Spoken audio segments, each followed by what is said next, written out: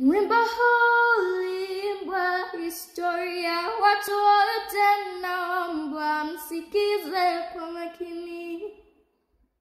Ilikuwa Oktoba hamsini na mbili, watu wote tulisikia Kenyatta ameshikwa. Hakushikwa Kenyatta peke yake, lakini alishikwa na mabingwa wa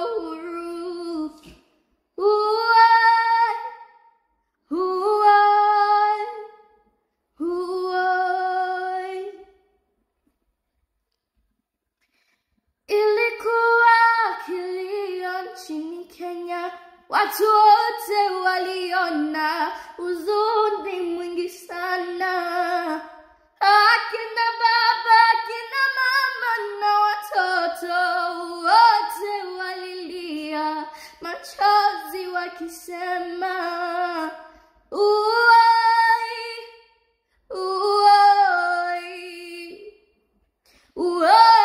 tunataka Kenyatta achiliwe.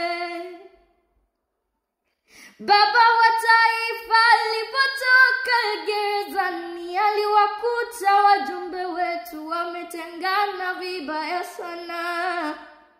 Aliongoza wajumbe mpaka Ulaya, kufika huko alipigwa na mayai alioza.